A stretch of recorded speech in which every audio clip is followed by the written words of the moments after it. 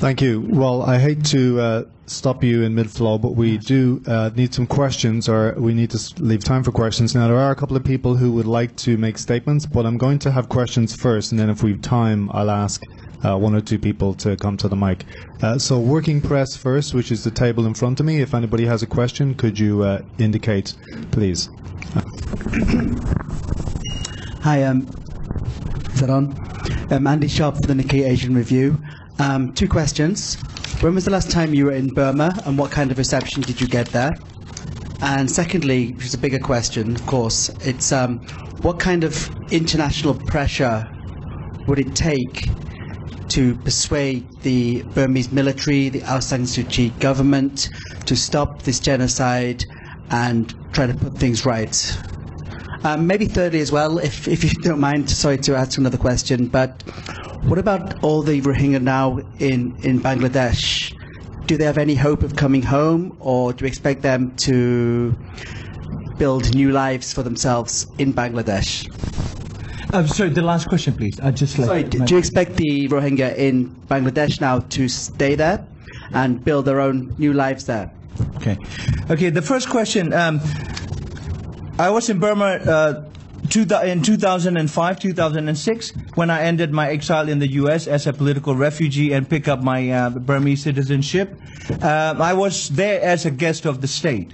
And uh, these are my hosts. Uh, the, the one on my right is currently vice president who chaired the internal inquiry commission that exonerated the Burmese armed forces of um, you know any wrongdoing. And then the tall man is now uh, number three in the Burmese army. He's my contemporary. Uh, uh, he is the um, chief of general staff. He is a shoe-in for number one position. He's uh, about 56 years old.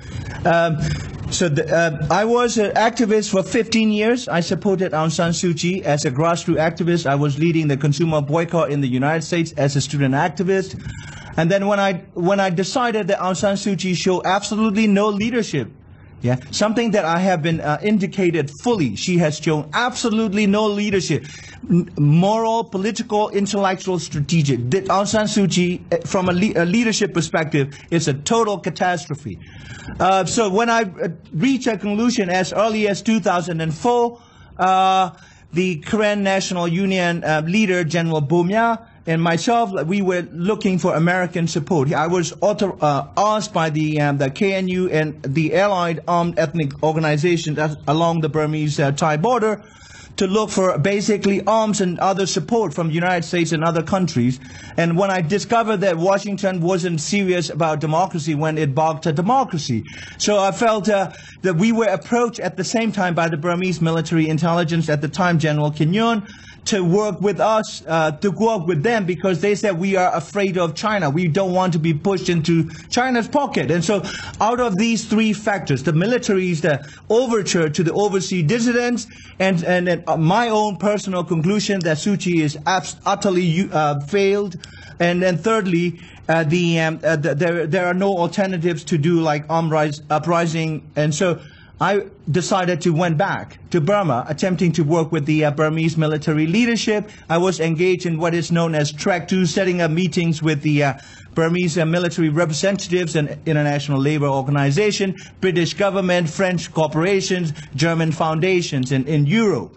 And so I was their boy, the, yeah, in Europe. But and, and I, I had my own agenda. I allowed them to use me, and I wanted them to move on the reform platform as they say they would. So I propose that they reconcile with the student leadership if they don't want to deal with Suu Kyi. And then uh, I asked them to invite the Burmese economists from abroad home to advise them on economic reform. And then thirdly, I said, can you make the internet available uh, for the Burmese? At the time, like internet was like a $200 per SIM card. Yeah, and uh, say, look, we are under, we are destroying our new generation, and others around Asia are uh, having access to uh, high-speed internet and, and learning about the world. And then they did nothing, and, and on top of that, they started shooting monks, and I cut my tie, and then um, I became uh, enemy of the state. And so, uh, in terms of the pressure, I think there has to be some kind of international intervention. I don't mean that uh, Japan sent its defense force and, and bombed uh, Naypyidaw or like uh, kidnapped me online from uh, wherever. And that's not what I mean. There are different types of intervention. If anyone who has uh, involved in any type of uh, uh, diplomacy and strategizing to deal with these issues, there are so many forms of in, uh, intervention. What, say, for instance, Japan can like simply say that we are going to have a policy review in the face of a relentless call for uh, ICC referral, and, and in the face of the the impossibility of the um, uh, the Security Council. Essentially, for all intents and purposes, Security Council is in a in a coma. It cannot, it has not shown any capacity to address any large-scale uh, sufferings, whether in Yemen, Syria, or Iraq, or Afghanistan, and now in genocide in Burma. So, in that case, the individual nations that have signed the Genocide Convention, that have signed on to the Universal Declaration of Human Rights, they need to call a uh, uh, emergency meeting somewhere, like the Tokyo summit, you know, Kuala Lumpur summit. Recently, at the Council on Foreign Relations in New York, Mahathir, uh, you know, Dr. Mahathir, the second, uh, the, the the reformist prime minister now. I understand, like he was an autocrat before, but at the age of like 94, the, Mahathir has been extremely, you know, progressive. I must say, he's even the head of state saying that maybe, you know, we will need military action. This is Mahathir, not a leftist, like a radical activist. Yeah, we need to take Mahathir's word seriously. If we are not prepared to go all the way as Mahathir suggested, at least uh, you know Japan should say, look, you know, we founded your armed forces, and now you are behaving like uh, the fascists in the 1930s and 40s, and uh, we cannot allow that to happen. Therefore, we will cut all, or like we will put a moratorium, moratorium on like a foreign investment, moratorium on the development aid.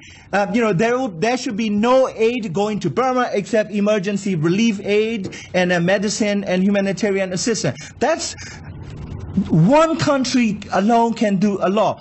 There are about, you know, uh, I can put together 12 different names of governments that will be prepared to follow Japan's lead. If Japan comes, Japan is the 10th largest investor in Burma. Yeah? Japan must not be, you know, seen or be recorded again in history as a war crime collaborator. Thank you. And there was another question. Uh, the Rohingya in, Bangladesh. are Oh, they- sorry. Yeah, the, the, should, should they go back? Yes. Can they go back? Can they go back? Can the can can the um, can the uh, can the Jews who survived, uh, you know, uh, the 20 plus uh, uh, uh, forced and death camps, uh, should they go back or should they go to the Middle East and uh, the West should help them uh, uh, f- find, you know, the uh, um, is- Israel? I mean, that's the same question. Well, I mean. Uh, ask yourself, like you know, if your fam, if you saw your your wife raped and uh, your father, uh, you know, shot dead in front of your eyes, uh, just only a year ago, and, or you know, if if your little uh, six months old boy was burned alive in front of your eyes while your wife was raped and her breast cut off after the gang rape, would you like to be told that, you know, like uh, you need to go back and that the Burmese, that this is like, you know, telling the uh, Holocaust survivors, you know, like uh, Auschwitz is, is uh, you know, uh, has a new paint. go back.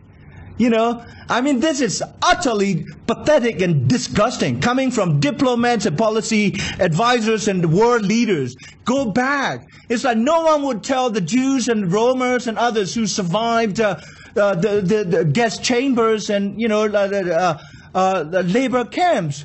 Would you like to go back to, to Germany? I mean, look at the population of Jewish people in Germany today. Compare that in 1930s and 40s.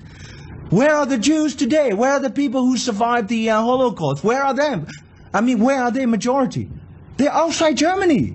Yeah? What's so wrong with like a Rohingya needing international protection? Rohingyas are not demanding that they want an independent, independent republic of like, is, you know, Muslim Rohingyas. They said, we want to live with you, but we are in a situation where all pillars of Burmese society, the generals, the monks, the Suu Kyi, the intellectuals, the public, the farmers, fishermen, and rickshaw drivers and street vendors don't want, uh, don't want us there. They don't even consider us uh, a part of them and we have harbored no hatred towards you. And we are only like, you know, 1 million plus Muslims. We don't pose any threat. You are 50 million Buddhists. Yeah? And so, like, you know, this is, I mean, blatant. This is going to go down in history. And everyone's going to remember what happened in, in these years. And many of, many of the Japanese corporations and Japanese politicians will find themselves again in the bad spot of history. I'd like to tell uh, a few things uh, about uh, the relations of the program. So, uh, sorry, Japan. Professor, just tell us who you are, would you, if you don't Uh, mind? my name is Michimi Muranushi. I'm a professor teaching international politics in the Department of Law uh, at Gakushuin University. Uh, I think, first, uh, the, the Japanese government still refuses to use the term Rohingya. Uh, according to the request of the uh, government of Myanmar. Uh, but uh, the United States, as you know, uses the term Rohingya. And the Japanese is a government. The Japanese government often defends that the United States and Japan share common values. Second, after August 25th last year, the Japanese government express, expressed its deep condolence for the people, the security people killed by the ARSA uh, in the August 25th uh, uh, um, uh, so-called attack. However, the Japanese government, after the news, overwhelming news, that uh, one uh, tens of thousand people uh, were killed by the government forces, security forces. Uh, those for those killed Rohingyas, the Japanese government are yet to express any condolence. When I asked one of the government officials about what is the difference between the two things, he told me that uh, on the first, the ARSA has recognized, but for the latter, it is still not confirmed.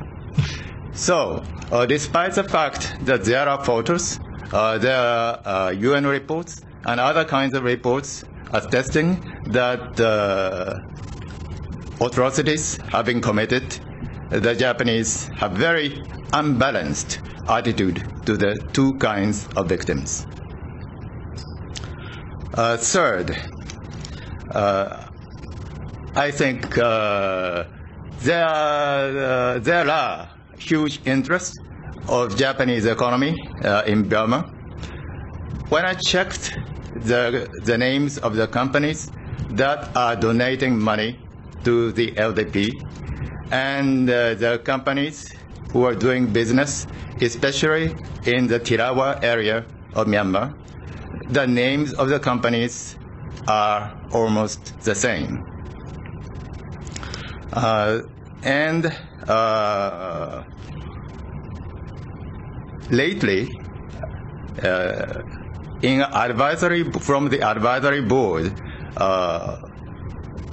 the former U, uh, U.S. ambassador to the Uni- uh, United Nations, uh, Mr. Richardson, resigned from the advisory board, saying that this is a committee in order to whitewash the atrocities. And lately, uh, a new, uh, another kind of committee in order to investigate what happened was made, and uh, one of the Japanese, who is a former uh, Japanese ambassador to the United Nations, uh, was named, and he has started working. So, uh, if you compare the two things, that uh, what is now uh, built, uh, made at a new committee, has the same kind of purpose uh, as the last one, but the Japanese government is willing to participate in the process whose only purpose seems to be to whitewash or the uh, what is alleged, uh, according to them, what is alleged by the international community. So, uh, in the area of foreign policy, uh, I think uh, there is, in my view, not much democracy in Japan. In elections, not many people hear about it. In the press, not many people read about it. And uh, lately, people know that there is a huge refugee community in Bangladesh. But other than that, uh, they don't know that the refugee community is only a part of the problem. As Mr. Zarni said, uh, it is genocide, and uh, it is, needs to be reported uh, that the fact, the real problem is much more bigger than just returning those refugees to Myanmar. Thank you very much. Thank you very much. Uh, just on that subject, uh, Zarni-san, have you had much interest from the Japanese media? Um, we have had um, uh, Newsweek, NHK, um, uh, Japanese uh, taken an interest, and um, also there are a lot of uh, well-meaning uh, Japanese uh, working on international development, humanitarian relief, NGO. But I think like they they need to press the um, their own ministries, the bureaucrats, the politicians, that um, Japan cannot be so out of line uh, from the uh, from the reality. You know, this isn't simply uh, protesters being shot dead when the regime feels threatened. This is a case where a, a, community is held guilty simply because of their identity, simply because of the uh, uh, the, uh, the, framing of the military as a, a foreign a potential foreign proxy. So the, you know the, the, Rohingyas are guilty because they exist. In that scenario, reconciliation between the Burmese society, the the military, political class, and intellectual class, and um, the Rohingyas are not possible. There is no conflict. If, if there's only one thing that, um, that, that you would remember from this talk, just bear in mind, genocides are not conflict. Genocides are state-directed, coordinated, systematic, uh, and sustained process to destroy a national minority that has a racial, ethnic, religious, and national identity.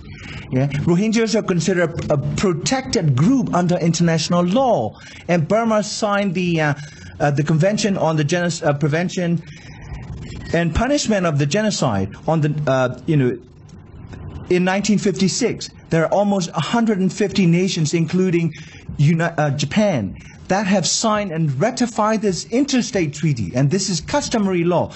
You know, it, uh, intervening in genocide is as customary as the Japanese bowing before, you know, like a leaving or greeting each other. And and, and Japan, as a leading member of this uh, world community, is failing to provide intellectual, moral, and political leadership. If Japan wants to compete with uh, China to try to uh, keep its influence in Burma, Japan, let me tell you for the record, Japan will lose not because uh, China, uh, China, is bigger uh, and uh, more intelligent or big. Uh, geographically, Japan cannot win in this game. So why waste your um, soft cultural ca- capital, the you know, the, all over Asia?